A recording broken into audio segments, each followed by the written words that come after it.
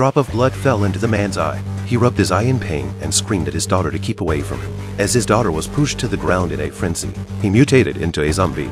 He's just been infected, as many Britons have been, with a virus that puts the infected in a permanent killing state. And this was caused by three naive animal activists. 28 days ago, they burst into the Cambridge Primate Research Center with the intention of releasing chimpanzees. Steph immediately advised them to stop because all the primates here have been injected with the rage virus. If a human is bitten or touches their saliva, he or she will be instantly infected. But they refused to listen and open the cages. They were bitten by a chimpanzee that escaped. And that's how the rage virus began to spread in human society.